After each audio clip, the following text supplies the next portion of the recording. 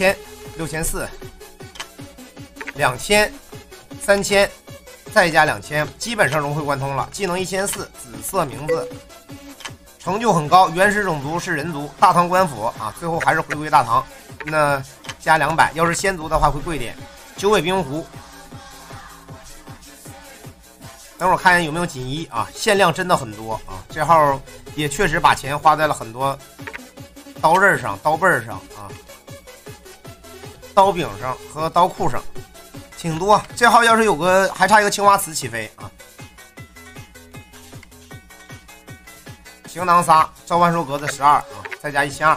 哎我操，九尾冰狐加青花瓷，一百七十五级的男号最便宜的话应该是在十三万五左右啊。冰寒敲，呃三六零啊，翻版一千五。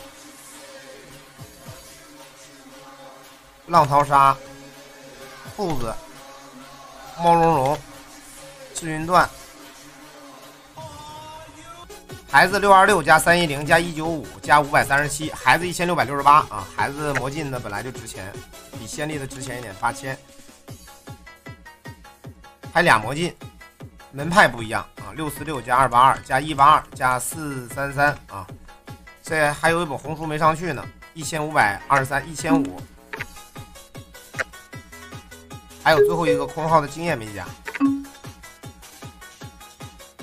六百八十七啊，好腰带的话，愤怒加满天华雨八十四，看防御加熔炼啊，五万差不多吧。帽子的话，破血皇宫啊，帽子的话，宝石稍微便宜点啊。一宝石钱的话大概是三万，帽子的话一万，大概是个四万。鞋子的话，黑宝石就是贵。敏捷熔炼六十三，防御有点低，还失败了一次。五万五吧，呃，项链的话，精青十三，再乘以个六，减去二百四十七，项链出零一百六十九，也就是国标。项链的话是一万七，加宝石钱五千，一万七再加五千，两万二，两万二加套装两万三，这熔炼就等于无视了。衣服的话，十五乘以十二，一百八十，四百五十五减一百八十。库房二百七十五，熔炼十九，二百九十四，利敏双加七十，十五段满天花雨。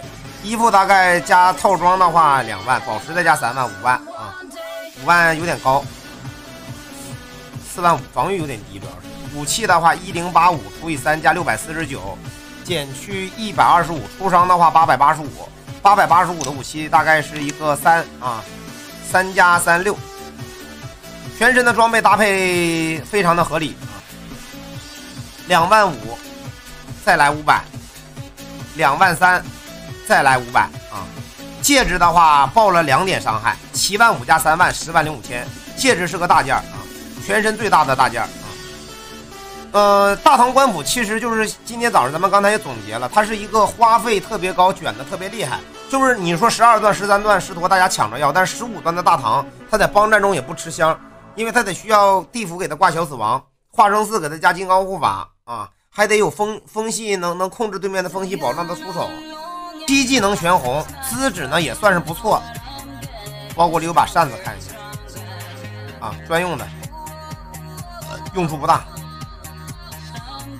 现在这种法防没有镜台的话，用处不是很大了啊，感觉一万块钱，闪现没有镜台，用处也不大了啊。但是他进阶幺幺零，杀人力劈，这只杀人不？带高墙套没偷袭，这只杀不了人啊。宝宝装备的话是三千的级别，这只宝宝再给他个一万，资质确实好，但是他不是杀人，好像一万三有点高啊。带宝宝装备给他一万还行。顺法一致加金豹，我操，这是我见过梦幻虚有法资最高的召唤兽，竟然没有之一。我一直以为梦幻虚有法资最高的召唤兽只能在持国化魂。还有蝴蝶仙子中出现啊，真的是没想到，还有混沌兽啊，真的没想到，童一个童子竟然干出了两千六百二十九的法资，合出来就他妈两千六啊！在之前最法资最高的是混沌兽，一般三千五就差不多了，这个三千六啊，一致加金爆，速度一千三百二十二啊！这个展示完了，等会儿系统去领取两百万游戏币，召唤兽给你回收了啊！野生这是洗完点的，人家洗完点了。宝宝装备的话是灵法，灵法，灵法，极限灵力啊，极限灵力。一千五百六十七，一般过一千五就已经很高了啊，直接高中还高你就随便加了，一万七、一万八，我觉得都行。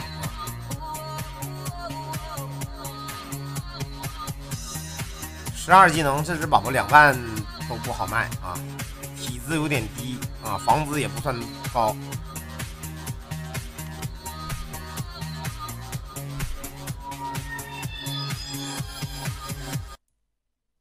壁垒的十一技能和十二技能现在基本就咋说呢啊，基本上就没啥用了。七十六，七十五。七十，但是高防御，这套宝物装备会比刚才更好。这一万差不多吧，一万有点感觉有点高啊，一万卖不上。老板，你的号估完的是七十二万八啊，如果要摆的话，建议摆八十八万等还价。